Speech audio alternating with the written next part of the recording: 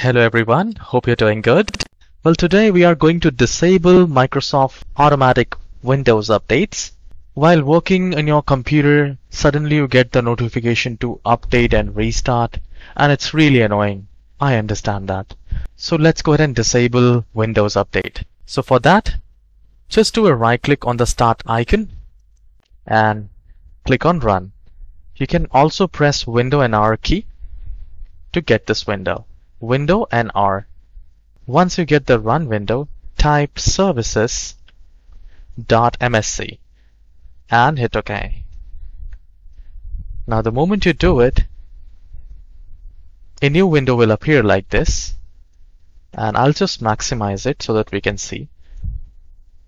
Click any of the services, press W and scroll it down and look for Windows Update Service. Now here I can see enabled so just do a right click, click on stop and do a right click again, go to properties and startup type make sure you click on disable and then click on apply and then OK. So once you're done with this, just restart the computer and Windows Update Service will be disabled.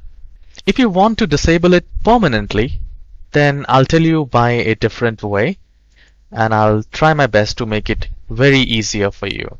So for that, just press Window and R and type reg edit. Once you have typed reg edit, hit OK. It will ask you to say yes, so I'll just say yes and a window will appear like this. So I'll maximize this. Now at the left hand side we need to go to HKey local machine. Once you expand it, you get other options, security software. So we need to go to software and here I'll scroll it down we are looking for policies so I can see policy here and I'll just click next to it to expand it and here we got the Microsoft. So I'll just expand the Microsoft as well.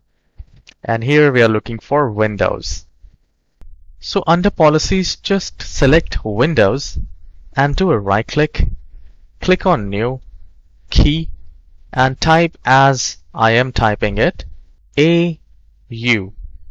Once you type AU, hit enter and then click on that again. Do a right click, click on expand and select DWORD 32-bit value. So no matter you're using a 64-bit computer, we need to select DWORD 32-bit value. From the AU, I just have to do a right click, click on new DWORD 32-bit value and here I'll type no auto update without any space. Make sure you type exactly the same I, I am typing.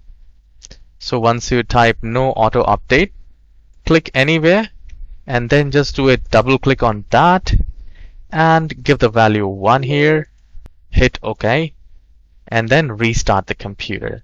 So in this manner, you will be able to disable Windows Update, Windows Automatic Update permanently. So guys, if this video is useful, please hit the like and subscribe. I'll see you in the next video.